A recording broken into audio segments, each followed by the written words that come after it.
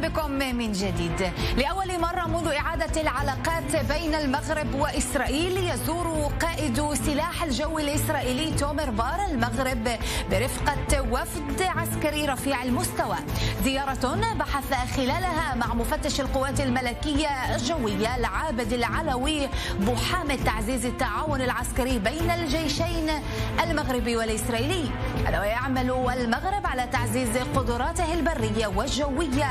بمساعدة إسرائيل حيث تقترب الرباط من الحصول على أحدث جيل من الطائرات بدون طيار التي يعتمد عليها سلاح الجو الإسرائيلي. إذا على ماذا يدل سعي المغرب في تطوير دفاعها الجوي في وقت يتعمق به الخلاف الجزائري المغربي؟ وكيف تنظر الجزائر وجبهة البوليساريو إلى هذا التعاون بين المغرب وإسرائيل؟ نناقش بعد هذا التقرير. قائد سلاح الجو الإسرائيلي تومر بار يجري زيارة للمغرب ويلتقي بنظيره العابد العلوي بوحامد زيارة تأتي في سياق تبادل الزيارات بين المسؤولين العسكريين من كلا البلدين معظمها علنية وبعضها سرية. إلا أن القاسم المشترك يصب في تعزيز التعاون وتبادل الخبرات ولعل الوفد المرافق لبار الذي يضم مسؤول المناورات والتدريبات يحكي جزءا من حكاية الزيارة الجزء الآخر المعدات مع تفاخر إسرائيل بتفوق سلاح جوها بدءا من المسيرات وحتى الدفاعات الجوية. أمور تسعى المملكة المغربية إلى الاستفادة منها في سبيل قضيتها الوطنية الأولى الصحراء. لكن السؤال ما إذا كان المغرب بحاجة لمراكمة القوة لاعتبارات دفاعية تخدم الردع؟ أم أنه يخطط للهجوم؟ هجوم محتمل. يتزامن مع ازدياد منسوب التوتر مع الجار الجزائر. أكبر داعم للبوليزاريو التي تحظى وفق تقارير بدعم من إيران عدوة إسرائيل. مراقبون يحذرون من المنحدر في العلاقات بين المغرب والجزائر الذي بدأ بالجمود إلى القطيعة ثم التوتر لتكون الخشية حاليا من انزلاقه إلى سباق تسلح يفضي إلى تصعيد. نهايته مواجهة عسكرية مباشرة. ونقاش هذا الملف ينضم إلي من مدريد الناشط السياسي الصحراوي الطالب علي سالم. أهلا بك طالب معنا كما ينضم إلي من القدس دكتور مير مصري أستاذ العلوم السياسية في الجامعة العبرية. أهلا بك ومن الرباط. دكتور عبد الفتاح نعوم الباحث في الشؤون السياسية والاستراتيجية. أهلا بكم جميعا ودعوني أن أبدأ معك دكتور عبد الفتاح. دكتور عبد الفتاح أهمية هذه الزيارة بالنسبة للجانب المغربي لا سيما وأنها تأتي في وقت حساس يمكن القول. أهلا وسهلا بك وبضيوفك في تقديري. هذه الزيارة تأتي في مسلسل من تطوير العلاقات. بين بناء على الاتفاق الثلاثي المغربي الأمريكي الإسرائيلي نعم. والذي يعتبر بمثابة حلف بغداد. حين كان حلف بغداد في الخمسينيات قد رسم معالم السياسة الدولية في الشرق الأوسط فإن الاتفاق الثلاثي يرسم معالم السياسة الدولية فيما يتعلق بالقارة الإفريقية. اليوم توجد تهديدات خطيرة على مستوى القارة الإفريقية. الفاعلون الدوليون وفي مقدمتهم المملكة المغربية باعتبارها الشريك الأساسي الآن لتحالف الناتو وأيضا في العلاقه مع الولايات المتحدة الأمريكية وبريطانيا وإسرائيل تتوجه صوب القضاء على مشكلات حقيقية يضعها جميع الفاعلون الأمنيون الاستراتيجيون في خارطة مخاطرهم بدءا بالناتو وصولا إلى البنتاغون وصولا إلى جميع مراكز الأبحاث الاستراتيجية الكبرى في العالم. وأيضا الأمر يتعلق حتى في العلاقة مع إسرائيل باعتبار أن التهديدات الآن التي توجد على مستوى السياسة الدولية في منطقة الساحل والصحراء هي الأساسية. فيما يتعلق بما تثيره الدعاية الجزائرية والدعاية الانفصالية معها من كون هذا الموضوع مرتبط بهم أو موجه إليهم. في الحقيقة لا يمكن لتحول جيوستراتيجي كبير يتعلق بمعادلات كبرى تتعلق بالسياسة الدولية وبقضاياها الأساسية أن يتوجه إلى أحلام صبية لأنه في الحقيقة ما يتكلم عنه يعني منتجو الدعاية الجزائرية والانفصالية معها يتعلق برغبات وبأمنيات لأنه صارت الآن كل المفاع... التفاعلات والمعادلات فوقهم وتتجاوزهم والدليل على ذلك أنه كل الآن ما تجتره الدعاية الانفصالية نعم. كناية عن أو تعبيرا أو نيابة عن الدعاية الجزائرية كلاهما يجتران الدعاية الفرنسية لأن الخاسر الأكبر من هذه المعادلات الكبرى التي نتكلم عنها التي تتعلق بصياغة معالم السياسة الدولية في القارة الإفريقية تجاوزت الفاعلين التقليديين في القارة الإفريقية وبتحديدا فرنسا وبالتالي الأسماء الآن أصوات الجزائر وأصوات بوليزاريو معها يعبران فقط عن انتكاسة فرنسا يعبران عن آه، فشل فرنسا في أن تكون ضمن هذا التحالف العالمي الجديد الذي هو تحالف القرن الواحد والعشرون. وصلت الفكرة ابقى معي دكتور مئير ما الهدف الإسرائيلي من هذه الزيارة وإلى ماذا تسعى إسرائيل تحقيقه من خلال تعزيز الدفاع الجوي المغربي؟ شكرا لكم على الاستضافة أستاذة لورين قبل كل شيء تحياتي لضيفيك المغربيين السيد عبد الفتاح والسيد طالب. آه، آه، أستاذتي الكريمة إسرائيل تشهد اليوم آه، حالة من تنامي العلاقات الإقليمية مع دول عديدة في سياق الاتفاقيات الإبراهيمية وبل حتى زيادة وتعميق في العلاقات مع الدول التي طبعت مع إسرائيل قبل هذه قبل العام عام 2020 مصر والأردن على سبيل المثال. هناك اليوم انتعاشة في العلاقات ولكن لا شك في أن العلاقة بين إسرائيل والمغرب مازق خاص في إسرائيل نظرا للعلاقات التاريخية المعروفة بين المغرب الشريف والشعب اليهودي المغرب الذي حمى يهوده والذي له دورا تاريخيا وهاما حقيقة في مسيرة وتاريخ الشعب اليهودي. العلاقات بين إسرائيل والمغرب إذا هي ليست فقط علاقات مبنية على المصالح أو على أو البعد الاقتصادي طاغي فيها كما هو الحال مع دول أخرى ولكن هناك هنا بعدا تراثيا بعدا ثقافيا هناك ضغوط على إسرائيل من قبل المكون المغربي داخل إسرائيل ومن قبل الجاليات اليهودية من أصول مغربية في العالم. حتى يكون هناك تجاوب أكثر مع مطالب المغرب آه، فيما يتعلق بقضايا عديدة. التعاون بين إسرائيل والمغرب يأخذ أشكال عديدة، هناك بعدا آه، اقتصاديا هاما، هناك على سبيل المثال تعاون فيما يتعلق بالزراعة، هناك تعاون. كذلك المغرب يفيد إسرائيل، لدى المغرب خبرات كثيرة الخريجين الجامعيين وهناك حقيقه آه، كفاءات مغربية في مجالات شتى قد تستفيد منها إسرائيل في المستقبل عوضا طبعا على العائد الاقتصادي لكلا الدولتين. فيما يتعلق بالمحور الأمني العسكري الذي هو ليس هو محور التعاون الوحيد وليس هو المحور التعاون الأهم ولكنه محورا هاما للغاية ليس ضد أي دولة أو ضد أي تيار سياسي أو ضد أي جهة إقليمية وإنما لدعم قدرات المغرب الدفاعية من ناحية و عملية تحديث الجيش المغربي الذي هو على رأس أولويات الحكومة المغربية حاليا. الذي فتح الباب حقيقه هو زيارة رئيس أركان الجيش الإسرائيلي في الرابع والعشرين عفوا وزير الدفاع السابق سيد بني جانس في الرابع والعشرين من نعم. نوفمبر تشرين الثاني من العام الفائت وهذا فتح الباب أمام عدد من الاتفاقيات الأمنية والعسكرية بين البلدين، اليوم الحديث هو عن تطوير الدفاع الجوي للمملكة المغربية، عن تطوير المقاتلات الاف 5 واف 16 التي هي تتوفر لدى القوات الملكية الجوية وكذلك حصول المغرب على طائرات من نوع جديد طائرات بدون طيار كما ذكر في التقرير أو أو بالأحرى في المقدمة. نعم أستاذ. وبالتالي أنا أعتقد أنه هذه هي هذا هو المضمون زيارة رئيس أركان السلاح الجو الإسرائيلي في الرباط.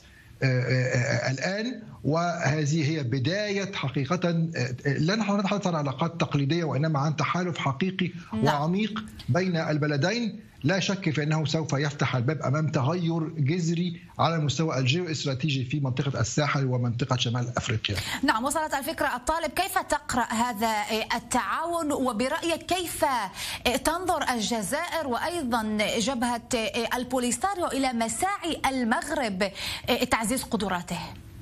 السلام عليكم شكرا على الاستضافة. في البداية أريد أن أوضح لضيفكم الذي رحب بالضيوف المغاربة. كما سماهم أنا لست مغربيا أنا صحراوي من الجمهورية الصحراوية من الصحراء الغربية وأفتخر بكوني صحراوي وبعيد كل البعد ولا صلة لي بأن أكون مغربيا. هذا فقط للتوضيح. إجابة على سؤال ضيفكم من الرباط تحدث على أنها يعني اتفاق ومعادلة لتواجه التهديدات في المنطقة إلى آخره وأعتقد أنه لا يوجد تهديد للمنطقة سوى جلب إسرائيل ما تقوم به المغرب اليوم. ونحن نتحدث عن يعني اتفاقات عسكرية إنها إسرائيل ستمد المغرب بالسلاح. ومن المعروف أنه السلاح ليس لتوزيع الأروج على الجيران ما شاء الله. يعني السلاح هو لاستعماله لإبادة الشعب الصحراوي كما يفعل آه، نظام الاحتلال المغربي منذ سنة 1975 ولتهديد دول المنطقة. ليس فقط الصحراء الغربية بل لتهديد موريتانيا لتهديد الجزائر لتهديد تونس لأنه كما قلت جلب إسرائيل هو أكبر خطر على إفريقيا.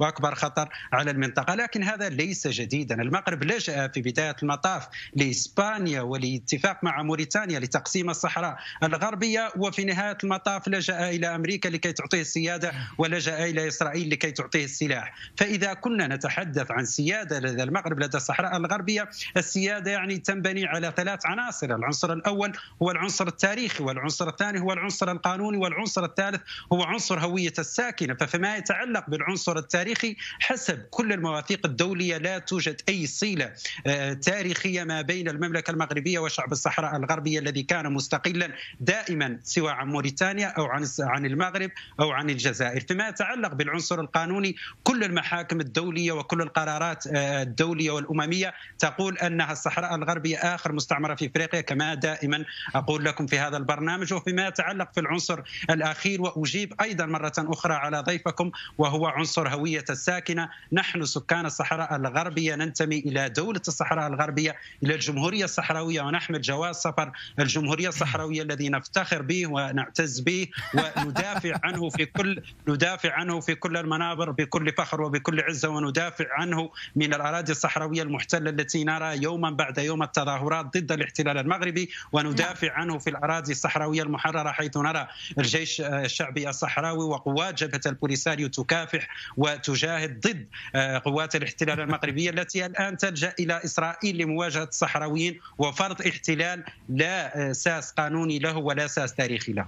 طيب يعني دكتور عبد الفتاح تبسمت عندما تحدث الطالب ولكن فيما يتعلق بهذه الزيارات قبل هذه الزيارة الإسرائيلية اليوم إلى المغرب كان هناك العديد من الزيارات الأمنية والعسكرية المغربية أيضا إلى إسرائيل هل يمكن القول أن المغرب تستعد لحرب ما أو ربما هناك خشية حقيقية من اندلاع حرب في منطقتكم وبدات بالحديث عن التهديدات.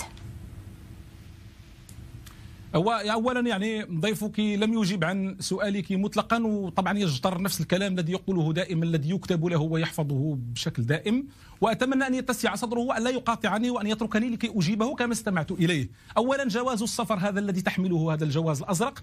هو في آخر المطاف لا قيمة له لأنه حتى رئيسكم وحتى عناصركم الذين يذهبون إلى القارة الإفريقية أو إلى الاتحاد الإفريقي يذهبون بجوازات سفر جزائرية، لا يوجد شيء في العالم اسمه جواز سفر لدولة غير عضو في الأمم المتحدة، يعني لا تضحكوا على الدقون وتنتجوا جوازات سفر عند مطابع الحي وتعتقدون أنها لديها القيمة ولديها القانونية. من ناحية أخرى أنت حينما تقول أنك لست مغربيا يا أخي انت أنت تحديدا لو أنت تحديدا لا لا لنعود لو سمحت لا تقاطعني لا تقا... لماذا تقاطعني الآن؟ لماذا تقاطعني؟ لماذا تخشى؟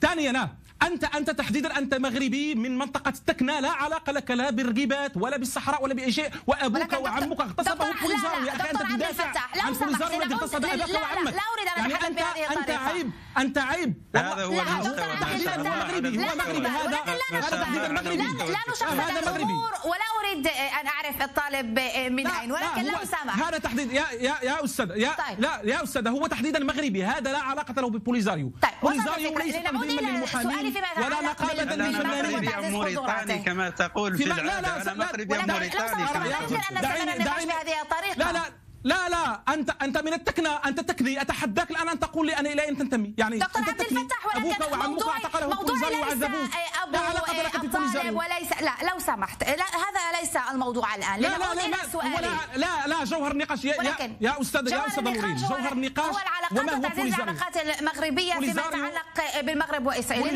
لو سمحت دكتور عبد الفتاح. يا يا يا أستاذ بوليزاريو الذي يدعي الآن أن ما يقوم به المغرب من علاقات مع إسرائيل هو يستهدفه عسكريا.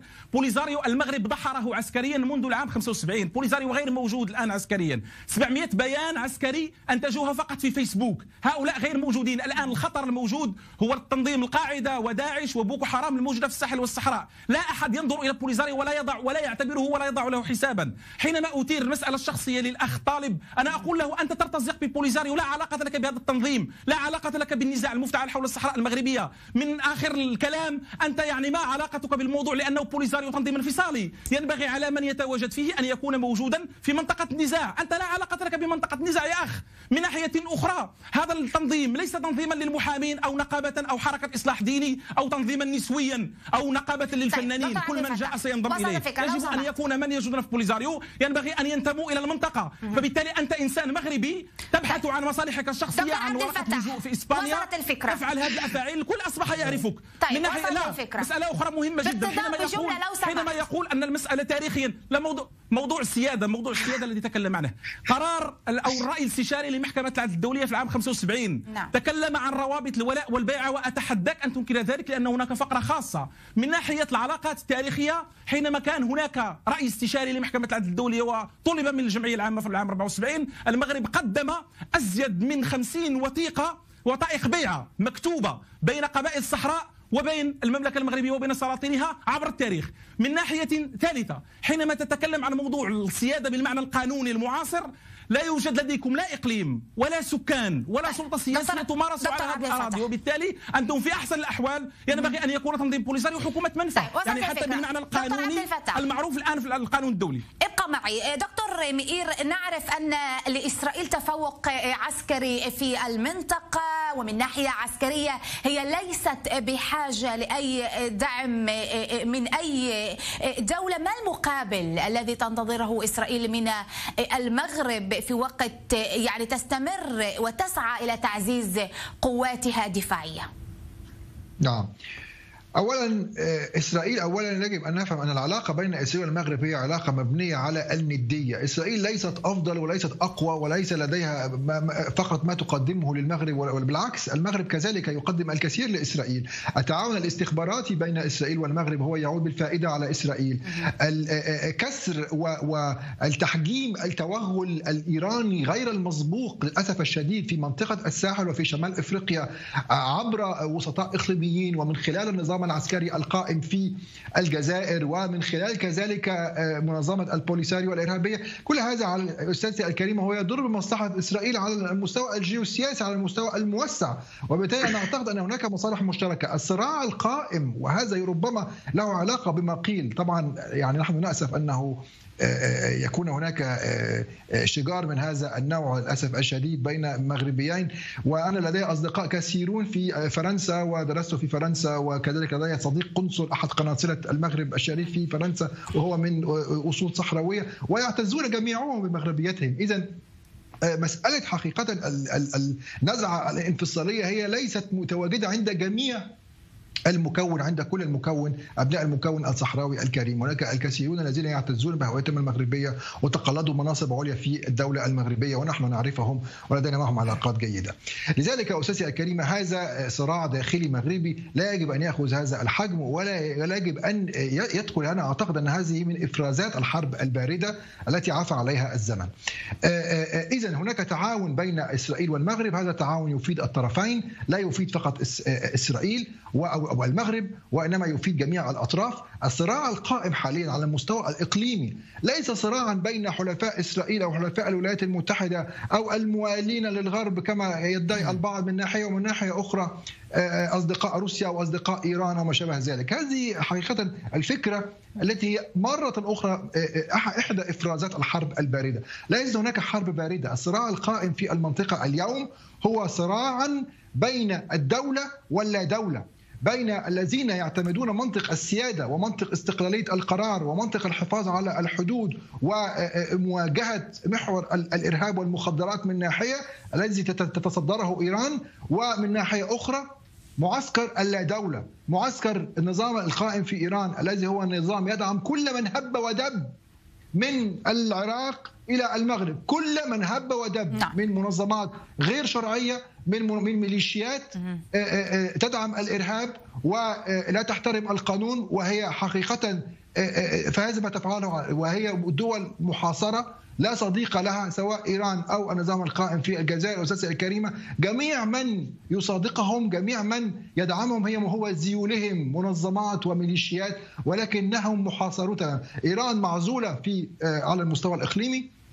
الجزائر اليوم معزولة تماما نعم. داخل الجامعة العربية ولا صوت لها وربما تحاول فقط أن تشاغب آه، آه، هنا أو هناك أو داخل منظمة المنظمة الوحدة الأفريقية ولكن هذا كل هذا لا يجدي ولا ينفع في نهاية المطاف لأن هناك اليوم اصطفاف ولكن وراء الجزائر دكتور. مئير نجحت في طرد الشرعية. الإسرائيلية التي منطقة دخول. الاتحاد الإفريقي صحيح استاذتي الكريمه صحيح. يعني يعني يعني شوفي كل هذا الكلام لا ينفع في نهاية المطاف، في نهاية المطاف لا لا يصح إلا الصحيح، إسرائيل لديها غالبية داخل منظمة الوحدة الأفريقية، ثلاث أرباع الدول العضو في الاتحاد الأفريقي ترحب بانضمام إسرائيل كعضو غير مراقب نظرا لأنها قبلت السلطة الفلسطينية كعضو غير مراقب كذلك لأن إسرائيل والسلطة الفلسطينية على حد سواء متاخمة للحدود الأفريقية وهذا هو العرف المتبع من قبل المنظمة كما كانت إسرائيل عضو في السابق في المنظمة تحت المسمى القديم منظمة الوحدة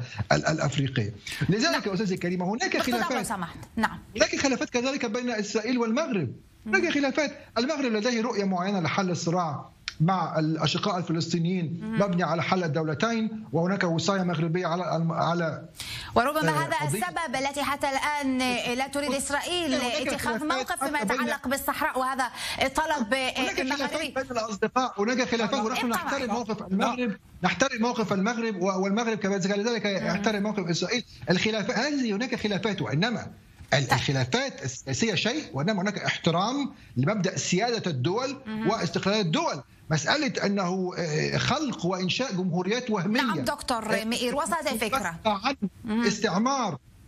و. آه، السلاح السلاح و إلى هذه المنظمات بشكل غير شرعي لدعم الإرهاب ومزيد من الجرائم ضد المدنيين للأسف الشديد سواء في المغرب أو غير المغرب. هذا لا يستقيم على الإطلاق. وبالتالي هذه المشاكل التي هي آه، آه، آه، ترجع جذورها إلى الاستعمار يجب أن تحل في إطار البيت المغربي. نعم دكتور مير ابقى. معي. لو سمحت لا يتبقى الكثير من آه، الوقت وأريد أن أشرك أيضا الاستاذ الطالب في هذا النقاش. الطالب يعني لماذا لا يحق للمغرب تعزيز آه، قواته والإعتماد على آه، المسيرات الإسرائيلية وأيضا على أحدث أسلحة في وقت تتلقى به جبهة البوليساريو؟ دعم من الجزائر من إيران ومن حزب الله.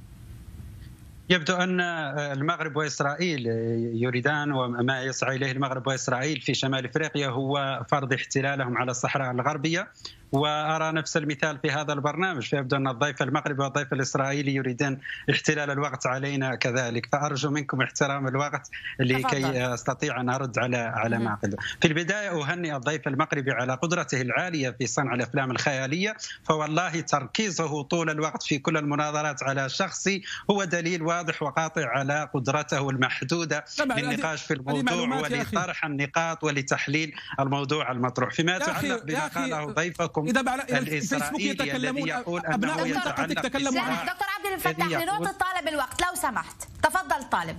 ضيفكم الإسرائيلي الذي يقول أنه صراع داخلي مغربي. إذا كان صراع داخلي مغربي فلماذا توجد الأمم المتحدة في الصحراء الغربية لتصفية الاستعمار؟ وكذلك إذا كان صراع مغربي داخلي ما هو دور إسرائيل التي طبعت مع المغرب لكي يعترف لها ترامب بالسياده على الصحراء الغربية؟ إذا كان صراع دا يعني داخلي ما ما هو الداعي لهذا التطبيع مع إسرائيل وفرض هذه السيادة وإرغام الشعب الصحراوي لفرض هذه السيادة؟ طبعا ما نراه اليوم كما قلت هو تحالف ما بين المغرب وإسرائيل لفرض لأنه المغرب وإسرائيل هم قوتان محتلتان، إسرائيل تحتل الأراضي الفلسطينية والمغرب يحتل الصحراء الغربية، إسرائيل تنتهك حقوق الشعب الفلسطيني والمغرب ينتهك حقوق الشعب الصحراوي، إسرائيل تخالف كل القرارات القانونية والدولية فيما يتعلق بحق الشعب الفلسطيني والمغرب يعارض كل القانون الدولي فيما يتعلق بحق الشعب الصحراوي، فالمغرب وإسرائيل متحالفان على هذه الأسس، على اسس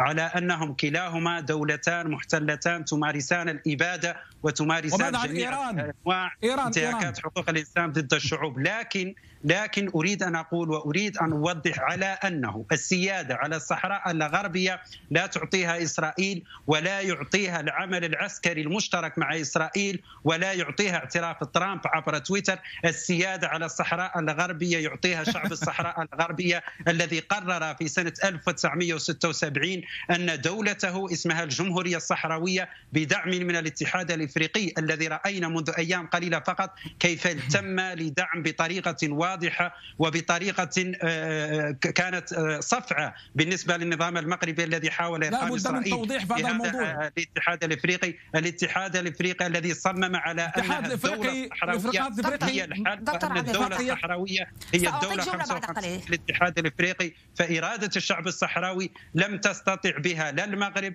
ولا إسرائيل ولا الولايات طيب، المتحدة طيب. الأمريكية طيب. وما هذا جملة دكتور عبد الفتاح. يريد جملة هذا ما برهن عليه الشعب الصحراوي. طيله جملة واحدة جملة جملة واحدة. شعب الصحراء الغربية مصمم على جملة جمله هو لن يصمت الآن هو لن يصمت لن يصمت الآن. جملة واحدة هو ان الاتحاد الإفريقي ركز على مؤتمر نواكشوط لعام 2018 طيب الذي ان هناك حصرية اقتصاديه الطريقة الطالب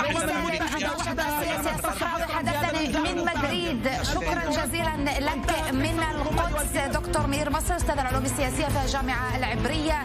ودكتور عبد الفتاح نعوم باحث في الشؤون السياسية والاستراتيجية. حدثني من الرباط. أعزائي المشاهدين بهذا نصل إلى ختام هذا المساء. إلى اللقاء.